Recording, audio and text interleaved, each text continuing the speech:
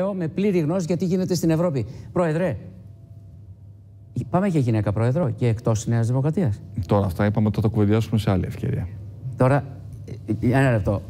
Η οικογένεια Μητσοτάκη έχει βγάλει είστε, καλούς πολιτικούς, είστε αλλά εξαιρετικός δημοσιογράφος, αλλά ξέρετε πάρα πολύ καλά ότι όταν έχω αποφασίσει να μην μιλήσω για ένα Σωστό, θέμα, το όσο, αντιλαμβάνομαι. όσο και αν με πιέσετε, δεν θα σας πω απολύτω Ο- τίποτα. Όσο νου που είμαστε λοιπόν, έτσι. Έχω δώσει το σχετικό χρονοδιάγραμμα. Μέχρι τέλος Δεκεμβρίου. Το βασικό αυτή τη στιγμή είναι να ολοκληρωθεί η διαδικασία θεματική αναθεώρησης. Ναι. Όλη η μεθεπόμενη εβδομάδα στη Βουλή είναι αφιερωμένη στην Ολομέλεια στο να ολοκληρωθεί η διαδικασία της αναθεώρησης. Ε, είναι μια περιορισμένη αναθεώρηση, αλλά δεν το επιλέξαμε εμείς.